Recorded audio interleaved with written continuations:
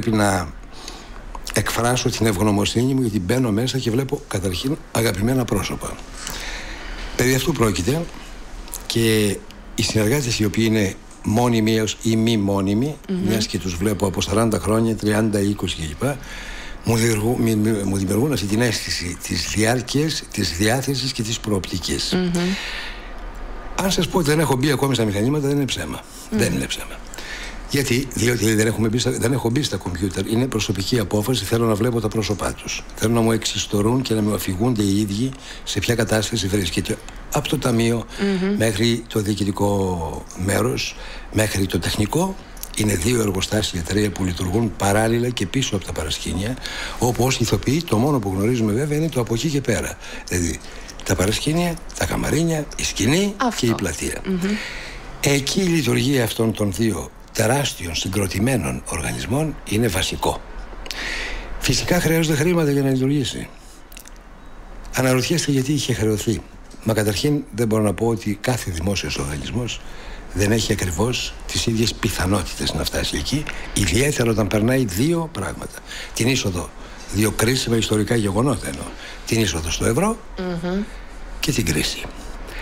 Στην προηγούμενη περίπτωση συνέβησαν και τα δύο και τα δύο μάλιστα ήταν νομοτελειακά έως και απαγορευτικά για τους κρατικούς προϋπολογισμούς δεδομένου ότι ιδιαίτερα οι καλλιτέχνες ουδέποτε γνώριζαν πώς διαχειρίζονται έναν ισολογισμό.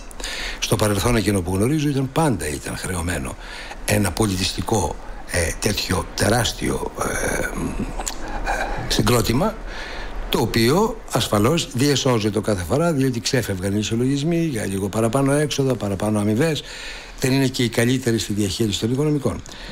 Όταν μπήκε το ευρώ δεν είχαν τη δυνατότητα να τα συμπληρώνουν αυτά τα πράγματα δια της ιστορίας δραχμών την οποία είχαν οι προηγούμενοι. Το λέω όχι διότι το γνωρίζω αλλά διότι είναι αυτονόητο τέτοιο. Τότε πάψαμε πια να τυπώνουμε και δεν μπορούσαμε να τυπώνουμε και χρήμα. Λίγα χρόνια άρκεσαν ώστε εφόσον βρεθήκαμε σχετικά χρεωμένοι, δηλαδή με τη τάξη του 20% του προπολογισμού, παραδείγματος αυτό να γιγαντωθεί όταν πλέον η κρίση δεν επέτρεπε σε κυμπαριλίκια, σε γαλαντομίες από πλευράς δημόσιου χρήματος. Ταυτόχρονα ε, οι κάπως βεβαιασμένες και πρόχειρες κινήσεις οδήγησαν σε μια απότομη συρρήκνωση ενός ήδη προδιαγεγραμμένου οράματος δηλαδή είχαν βγει οι προϋπολογισμοί, είχαν βγει οι παραγωγές ειδικά εκείνα τα χρόνια κόπηκε ελαττώθηκε φυσικά η εισρωή του δημοσίου χρήματος, η επιχορήγηση, οπότε πετάχτηκαν έξω αρκετά πράγματα.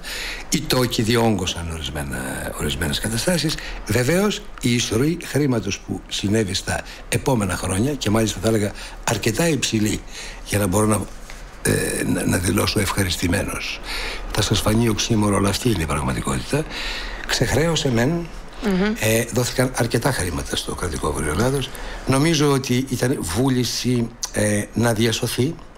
Ε, δεν το χρεώνω αυτό το πράγμα σε ανθρώπους αλλά σε βούληση μόνον ο Έλληνας φορολογούμενος να πληρώσει ίσως και ένα δυσανάλογο ποσό σε σχέση με το χρέος του να εξευρεθεί δηλαδή λύση να μην χρεώνεται πλέον τόκους αλλά προέχει τώρα πλέον και η συνθήκη της χρηματοδότησης του αλλά και της διαχείρισης του ταυτόχρονα να μην ξεφύγει ξανά προς την υπερχρέωση. Αυτό είναι μέλημά μας. Είμαστε υποχρεωμένοι να σεβόμαστε τους ισολογισμούς διότι διαχειριζόμενοι κρατικούς οργανισμούς δεν κάνουμε τίποτα άλλο να διαχειριζόμαστε με τα πρότυπα μιας σοβαρής και σωστά διαχειριζόμενης επιχείρησης. Κοιτώντας λοιπόν τα νούμερα, εσείς θα ζητήσετε επιπλέον χρήματα από αυτά που δίνονται μέχρι σήμερα στο κρατικό; Θεωρείτε ότι έχει μεγαλύτερες ανάγκες από αυτές που υπάρχουν σήμερα; Και να το συσχετίσουμε λίγο και με τον αριθμό των εργαζομένων. Θεωρείτε ότι οι, οι εργαζόμενοι που βρίσκονται αυτή τη στιγμή είναι όσοι χρειάζονται, χρειάζεται ένας μεγαλύτερος αριθμός, μικρότερος, σκοπεύετε να κάνετε κάποιες περικοπές, κάποιες αλλαγές; Κοιτάξτε, ανάγκες πάντα υπάρχουν. Υπάρχουν ανάλογα με τον προγραμματισμό τον οποίο επιλέγει κάποιος ο οποίος βρίσκεται στο τιμόνι ή είναι αρμόδιος για να κάνει αυτό το πράγμα. Ο προγραμματισμός πρέπει να συμβαδίζει αναγκαστικά με κυρίως την οικονομική στόχευση την οποία κάνουμε. Mm-hmm. Συνεπώς, οι υπερπαραγωγές και όλα αυτά, επειδή πιστεύω ότι οι καλλιτέχνες μπορούν να δημιουργούν και πλούτο χωρίς απαραίτητο φοβερό έξοδο του πράγματος βασιζόμαστε σε εκείνη την εσωτερική οικονομία της έμπνευσης των καλλιτεχνών mm. ώστε να μπορέσουν να γεωμετρήσουν το όραμα όχι απαραίτητα ε, ξοδεύοντας ε, δεκάδες εκατομμύρια βέβαια Πάντα υπάρχουν και τα ανθρώπινα λάθη που πρέπει να είμαστε προσεκτικοί. Πάντα υπάρχουν οι ανάγκες ενός ρεπερτορίου το οποίο για να, για να το αποδοθεί η λάμψη του κρατικού Βορείου Ελλάδος χρειάζεται πάντοτε να υπηρετείται με ένα σεβασμό προς το παρελθόν. Mm. Έτσι, οι υπερπαραγωγές, όπως πολύ σωστά προαναφέρατε, δεν είναι εκτός προγραμματισμού. Το προσωπικό, ε, επειδή η προσωπική μου άποψη είναι ότι είναι ταλαντούχο και ήταν πάντα. Και επειδή εμείς έχουμε ένα φυτόριο καλλιτεχνών το οποίο μεγαλούργησε στην Ελλάδα τις τελευταίες δεκαετίες έχει καταφέρει πάρα πολλά πράγματα και μάλιστα σκοπεύουμε κάπου να ενώσουμε όλες αυτές τις δυνάμεις, έστω για ένα χαιρετισμό, να προσέλθουμε στη Θεσσαλονίκη μια και γιορτάζουμε τα 60 χρόνια την επόμενη χρονιά. Αυτό είναι μια τεράστια ευκαιρία για μας. Mm. Βεβαίως, είμαστε πάντα υποχρεωμένοι να σεβόμαστε δικονομικά. Αν θέλουμε να δημιουργήσουμε ορισμένα πράγματα, θα γίνουν μέσα σε αυτά τα πλαίσια. Τι εννοώ; Καταρχήν, πρέπει να έχουμε τη μέρημνα για την παιδεία η οποία παιδεία βέβαια εξασφαλίζεται από την υπέροχη δραματική σχολή η οποία μέχρι τώρα έχει αποδώσει τα μέγιστα mm-hmm. στη συνεισφορά της και στην πόλη και στη χώρα. Ωστόσο, ε, μία μετεκπαίδευση δεν ήταν κακή. Έχουμε ανακοινώσει τη μικρή Ακαδημία Θεάτρου, στην οποία είμαι επιμένω και είμαι φιλόδοξος ότι θα τα καταφέρουμε. Πρόκειται για μια μεταπτυχιακή, μια μετεκπαίδευση πάνω ιδιαίτερα στο κλασικό θέατρο και στο αρχαίο δράμα. Το έχω πει αρκετές φορές, το έχουμε δηλώσει στη σελίδα μας. Σκοπεύω να το ανακοινώσω διαδοχικών συνεντεύξεων κλπ.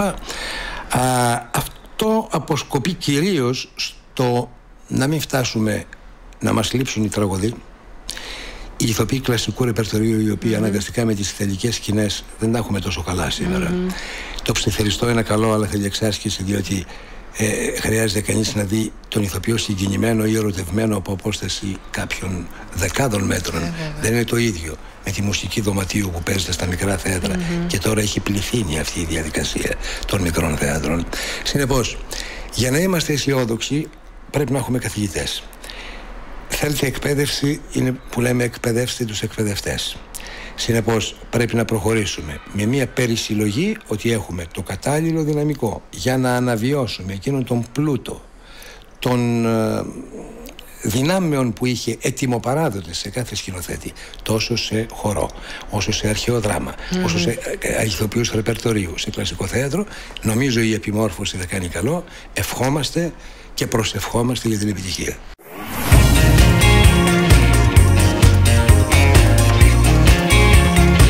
Θεσσαλονίκη FM 100